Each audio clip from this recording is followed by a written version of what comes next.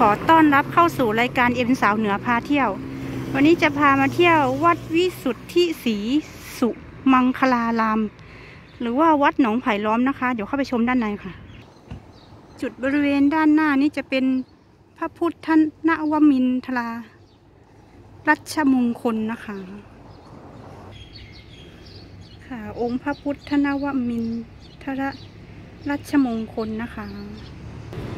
มีทั้งองค์ใหญ่องค์เล็กนะคะ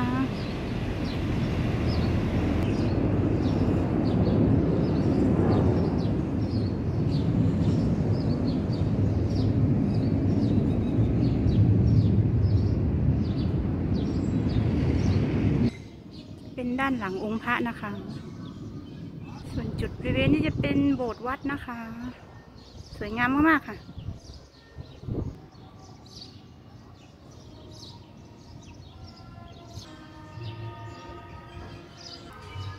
จุดบริเวณนี้จะเป็นองค์พระนะคะ